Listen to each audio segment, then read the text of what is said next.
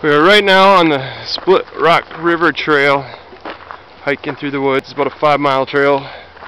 Having fun. Say hi, Paula. Hi. Say hi, Gigi. Hi, Gigi. Say hi, David.